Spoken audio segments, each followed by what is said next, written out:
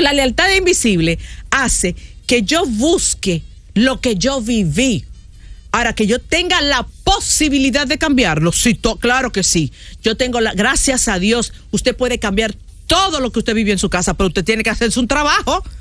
Porque en ese trabajo usted tiene que serle desleales y usted tiene que traicionar sus raíces. Y señor, eso no es fácil. Y yo necesito, por Dios, yo necesito que, y no tan solo esto se lo voy a decir a, los, a las mujeres, también a los hombres, que castigan a las mujeres, porque esa mujer dijo, mira, yo no quiero seguir contigo, tú no eres el hombre de mi vida, y la castigan por los cuartos. Y la castigan dejando de ver a los hijos. Y tú a esa mujer llamando a ese hombre, por favor, mira, eh, escucha el programa de Ana Simó, pon el programa, el programa fulano de tal, mira, óyeme el daño que le estoy haciendo a tus hijos. Tú no puedes obligar a lo otro. Ahora, el daño que le están haciendo a los hijos es un daño irreparable irreparable. Porque si hay algo que un niño no puede codificar, bueno, no lo podemos codificar ni siquiera el adulto, es el abandono. El abandono marca, señores, es un trauma que te marca de por vida. Porque que tú me estás diciendo a mí que yo soy una cosa que no, que no es querida. Entonces yo voy a tener problemas de seguridad en la vida, porque si lo más importante es que papá y mamá, ya está me está haciendo señas, yo, yo inspirada. Termine la idea.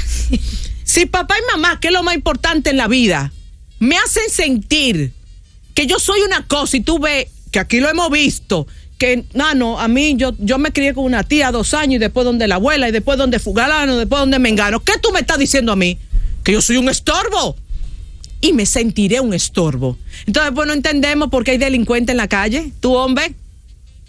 Después no entendemos por qué tenemos ladrones de cuello blanco?